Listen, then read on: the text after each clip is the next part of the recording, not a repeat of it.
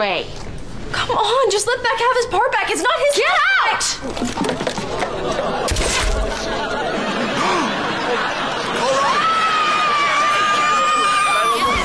No, I understand. No, I get it. I mean, it went right through her hand. Yeah, I'm sorry too. Okay, people, that was Melinda's manager. Um, because of the injury to her hand, we're gonna have to recast her role. Wait, Melinda's not going to be in the movie? Nope. Thanks to her.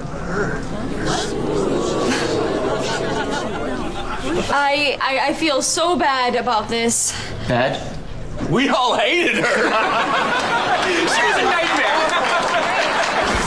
Hi, Beck. Tori Vega. That's me. Are you sure you're not Crystal Waters? You got the call. I'm back on the movie. One.